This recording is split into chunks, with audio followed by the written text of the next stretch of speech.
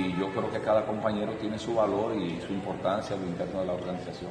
Yo creo que debería en este momento existir un árbitro que, no se haya definido claramente entre, un bando y el otro, porque ahora se han dividido en bandos para, para ver qué Mira, en el libro de Mateo, capítulo 5, versículo 9, dice, bienaventurados los pacificadores, porque ellos serán llamados hijos de Dios.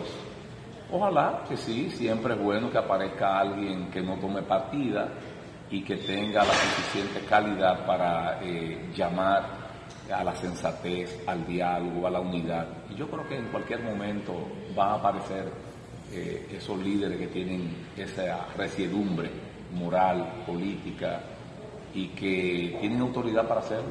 ¿Le preocupa usted, del partido? Usted, mismo, usted mismo que ha dicho que es la primera vez que ve un enfrentamiento así tan, marcado. Es preocupante, claro que es preocupante porque si nos ubicamos en la realidad de lo que se está discutiendo, eh, los grupos lo que dicen, uno que no tiene los votos y otro que tenemos los votos, como es el caso mío. Entonces yo digo, si donde se puede discutir y demostrar si existen o no los votos para una modificación constitucional es en el Congreso. En el Congreso es que hay que debatir eso, eso no hay que llevarlo a las calles.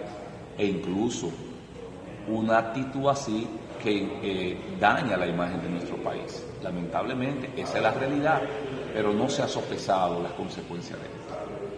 Gracias, señor.